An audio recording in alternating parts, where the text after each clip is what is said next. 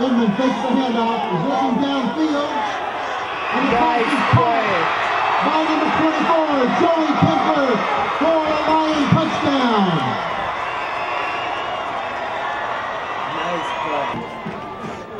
Number 44, Lewis Valentine.